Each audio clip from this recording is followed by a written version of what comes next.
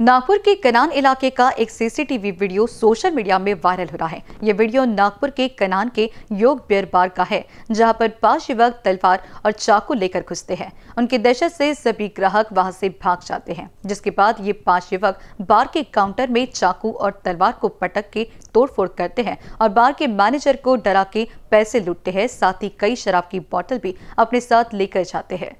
Video viral होने के बाद नागपुर ग्रामीण पुलिस ने इस मामले में पाँच लोगों को गिरफ़्तार किया है, जिसमें मयूर विष्णु बोरकर, शैलेश कन्हैया नागपुरे, स्वप्निल गजानन तेलमासरे, अब्दुल रहमान, वल्द अब्दुल रजाक शाह और अभिषेक अरविंद कोंडाने का नाम शामिल है।